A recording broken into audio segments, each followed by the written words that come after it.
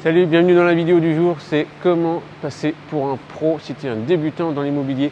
Je vais donner quelques conseils surtout pour voir comment se débrouiller et donc ne pas passer bah, vraiment voilà, pour le débutant de base dans l'immobilier parce que les erreurs sont rapides à faire.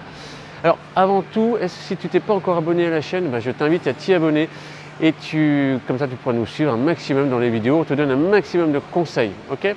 Alors, vidéo du jour, comment avoir l'air d'un pro quand on est débutant dans l'immobilier. Je te rassure, on a tous été passés pour des débutants, mais il y a des techniques pour déjà avoir l'air d'un pro.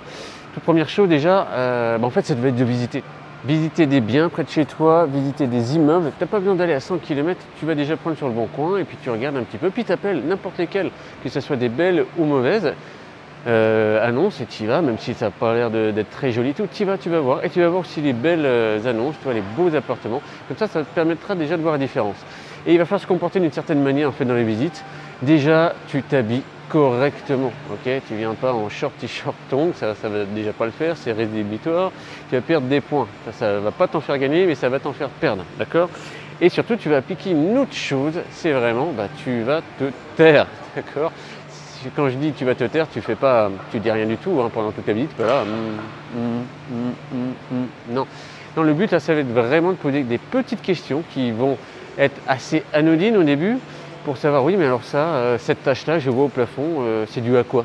Voilà, genre de petites questions. Et tu laisses l'agent immobilier bah, t'expliquer, te dire ce que c'est et comment parfois y remédier. D'accord? Ça va être un processus d'apprentissage, tu vas voir, ça va être un petit peu long, mais surtout ne t'étends pas, toi, dans des paroles, ne t'étends pas, même si tu as envie de parler beaucoup, tu es là pour apprendre. D'accord? Et c'est un processus d'apprentissage. Et j'ai envie de te dire, bah, toi, si tu suis un peu nos formations, tu vois comment tu accélères quand on te montre, mais là, tu vas être un petit peu tout seul. C'est à toi de le faire. Tu vas un peu euh, bah, mettre, galérer, poser les bonnes questions, et puis surtout, est-ce qu'il va falloir croire les agents immobiliers ou pas à 100% Moi, j'ai envie de te dire, non, on ne les croit pas à 100% parce que il faut savoir qu'un agent immobilier, ça roule quand même pour sa pomme. Donc euh, je vais pas me faire des copains, là, mais bon, tant pis, c'est pas grave, mais c'est la réalité. Un agent immobilier, il est là quand même pour prendre sa com le plus rapidement possible. Donc forcément, il ne va pas te dire que tout, va mal. Il va dire les points positifs du bien, les dire bah voilà, oui, là c'est euh, le placo, il est nickel. Bah la douche, elle est bien. Alors que si tu regardes bien en détail, ça se trouve tous les gens ils sont morts et que le carrelage sonne creux et que derrière euh, la plaque de placo, elle est foutue, tu vois. Mais ça, il va pas forcément te le dire. Ça, ça va être au fur et à mesure. Toi, ça va être de l'apprentissage.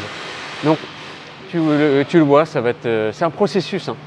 Et tu vas devenir de plus en plus pro là-dessus et on te racontera plus de, conneries parce que tu le sauras, d'accord? Donc ça déjà, c'est la toute première chose à faire, c'est tu vas visiter et en même temps, tu vas bah, tout simplement te taire un maximum pour apprendre, ok? Donc c'est vraiment ça, tu, bah, tu dis rien, d'accord? Et tu t'habilles bien, hein, d'accord? Alors, sinon après, moi je vois aussi une deuxième chose aussi pour avoir vraiment l'air, avoir l'air d'un pro. Euh, tu sais peut-être faire un petit peu des calculs de rentabilité, tu sais voir combien ça peut ramener. Euh, oui, je sais pas, ils font des travaux à côté. Tu sais combien ça peut ramener euh, tel appartement, tel appartement. j'ai envie de te dire, te jette pas sur le premier bien venu. Vraiment, il faut rester focus là-dessus parce que ça arrive pendant 2, 3, 4 mois, tu vas visiter des choses, tu vois rien d'intéressant. Et puis à un moment tu vois une affaire qui a un petit potentiel, tu dis Ah, c'est peut-être là, c'est celle-là que je vais prendre. Mais en fait, ça ne s'ouvre pas du tout, d'accord? Parce que rappelle-toi, euh, tu n'as pas encore toutes les compétences forcément peut-être pour bien voir si c'est une affaire, bien les déterminer. Donc prends ton temps, c'est pas grave, et tu regardes bien et tu pondères si c'est correct ou pas correct comme affaire. parce que ça aussi, c'est l'erreur de débutante, c'est se jeter sur la première affaire et dire Ah, c'est bon, ça y est, euh, ma rentabilité, c'est ça, euh, j'ai regardé vite fait les charges, c'est bon, ça roule. En termes de travaux, oh, je ne devrais pas en avoir pour cher. Bah ouais, mais ça se trouve, euh, les calculs sont très mauvais, tu fais une mauvaise enveloppe de travaux, tu les estimes très mal, l'affaire, en fait, tu l'as pas bien négocié et puis tu as peut-être loupé quelque chose dans la copropriété qui fait que bah, ça va te coûter très cher au final et du coup, ça ne va pas être un investissement rentable. Donc pour ça, là-dessus, ne te jette pas sur la première affaire.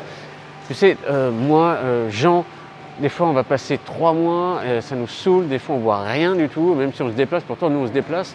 Et puis à un moment donné, boum, on voit une affaire, deux affaires, trois affaires. Et là, on a envie de toutes les prendre. Sauf qu'on dit non, non, non, réfléchis, sois vigilant, d'accord, et agis comme un professionnel.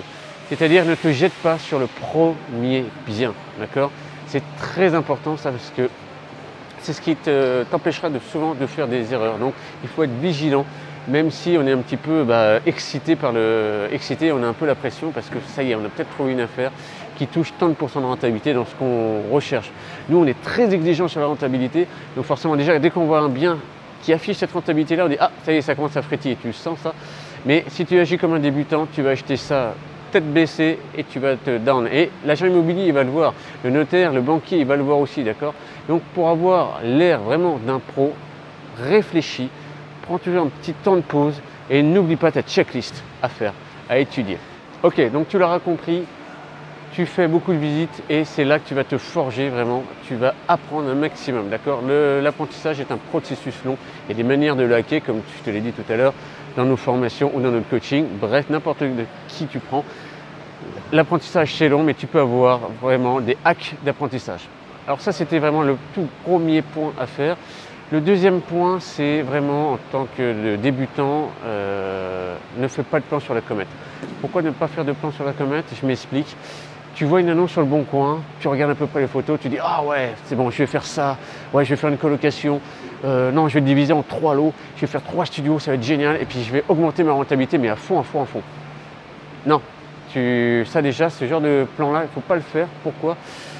Bah Parce que tu vas avoir un, souci qui va être bah, tu ne verras plus forcément la meilleure configuration du bien. Je m'explique. Tu penses que tu vas faire une colocation dans un bien, tu vois un beau F4 et tu vois il n'est pas trop cher et qu'avec la colocation tu vas augmenter ta rentabilité, ouais, ça c'est déjà une bonne idée. Le problème c'est que tu vas rester focus là-dessus. Mais focus, focus. Et ça se trouve, il faut peut-être faire même deux biens pour faire de la courte durée parce qu'ils euh, s'y prêtent beaucoup mieux. Ou ça se trouve dans la colocation, bah, tu as les évacuations, c'est foutu, tu peux rien faire avec ça, sauf que tu t'es focalisé là-dessus et tu vois pas autre chose à faire. Et du coup, bah, tu vas dire, bah ouais non, votre bien il n'est pas bon, j'ai pas envie et ça me sert à rien. Donc bah non, next non, parce que tu vas avoir sûrement un professionnel qui va arriver et qui va, lui, bah, bien détecter et dire Ok, moi je vais faire en fait une division de l'eau et je vais peut-être même en faire trois, tu vois. Et en plus que de la courte durée, et deux en courte durée, et puis un en location euh, longue durée. Parce que ça, je sais que c'est ça qui va fonctionner, parce qu'il aura vu en plus l'environnement du bien. Alors que toi, tu te seras fait un plan de colocation et tu ne vas pas forcément aller plus loin. Donc tu vois, il est important de ne pas faire de plan sur la comète. D'accord? Alors le troisième point que je vois moi pour éviter de passer pour un débutant quand tu fais une visite, c'est de prendre des notes. Je m'explique. Prendre des notes sur un support papier, tu sais tu fais comme les détectives privés où ils marquent deux, trois petites choses sur un petit calepin. Pourquoi? Parce que bah, ça se voit déjà que tu n'es pas capable de mémoriser. Non, tu dois être hyper concentré et être focus là-dessus. Tu n'en visites que un de bien, donc tu n'as pas besoin non plus de te concentrer énormément. Si tu visites un studio, excuse-moi, c'est une pièce, donc ça n'est pas énormément long. Même un immeuble, il faut rester concentré. Par contre, ça ne t'empêche pas de prendre des photos. Des photos à certains endroits pour dire, bah tiens, ça c'est un problème, je ne vois pas trop comment le résoudre. Et en même temps, en photo, c'est plus rapide et ça évite de casser bah, la, discussion qui est en cours avec l'agent immobilier. Tu Parce que c'est toujours un petit peu problématique, ça casse, tu vois, ça casse euh, l'envie de sympathiser, ça casse l'envie bah, d'aller plus loin peut-être avec toi, de te proposer d'autres choses, parce que bah, c'est chiant un mec qui prend des notes et tout. Et là on voit que c'est débutant et l'agent immobilier il va dire bah oui bah, lui ça il prend ses notes, ça va pas être intéressant, je vais pas faire du business avec lui. Il n'a pas, il pas un bon mindset quoi. Il faut qu'il marque tout et puis il va dire oui c'est bon je vous enverrai la fiche. Sauf que la fiche c'est pas terrible. Donc non, tu ne prends pas de notes. À la rigueur, tu prends ton portable, tu fais deux trois photos, d'accord. Par contre à la fin du rendez-vous, tu notes tout pour pouvoir faire ta pondération, tu vois, des, bah, des plus et des moins. Ok Donc voilà. C'est vraiment, moi, plus, les meilleurs conseils qu'on a avec Jean pour ne vraiment pas passer pour un débutant. Donc, comment passer pour un pro C'est ça. Tu vas visiter un maximum tout en écoutant, d'accord Tu laisses l'agent immobilier parler parce que c'est quand même son métier. La deuxième chose pour ne pas passer pour un débutant, c'est ne fais pas de plan sur la comète quand tu vois l'annonce, d'accord? Réfléchis, laisse-toi ton cerveau vraiment totalement libre, aucun préjugé en fait sur le bien, sur l'annonce. Donc voilà, ça à faire, le deuxième point. Et enfin, le troisième point qu'il faut faire absolument, c'est bah, ne pas prendre de notes. Tu ne prends pas de notes en visite. Donc si tu as aimé cette vidéo, bah écoute, vraiment, mets-nous un petit like, ça nous fait super plaisir. Abonne-toi à la chaîne aussi, tu as le bouton là ou là, on ne sait jamais vraiment dans quel sens c'est, toi.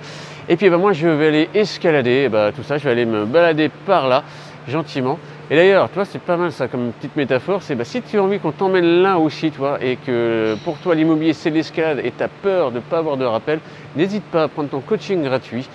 Tu as le lien qui est en dessous de cette vidéo ou même sur Instagram. Le lien il est dans notre bio. Tu nous suis et tu prends rendez-vous. Et on voit ce qu'on peut faire ensemble. Où est-ce qu'on peut t'emmener Est-ce qu'on t'emmène là? Est-ce qu'on t'emmène là? Ou là D'accord? Allez, je te souhaite une excellente journée et à bientôt. Ciao